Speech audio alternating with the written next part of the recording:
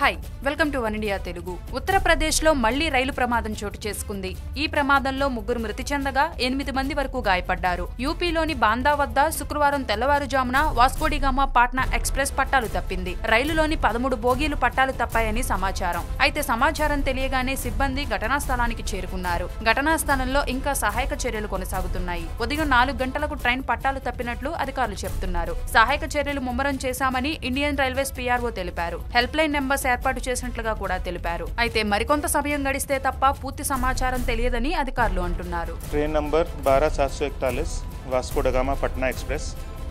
ఈ మాణికపూర్ సే హోతీ హుయీ చోకీ ఆతీ హై ఎలాబా డివిజన్ aur చోకీ సే ముగల్సరా نکل జాతీ హై ఇస్కా అపథన్ డెరిలేమెంట్ హువా హై మాణికపూర్ మే సుబహ్ 4 బజ్ కే 18 మినిట్ పే ప్లాట్‌ఫామ్ నంబర్ 2 సే నికల్ రహీ థీ ఉస్ సమయ ఇస్కా డెరిలేమెంట్ హో గయా హై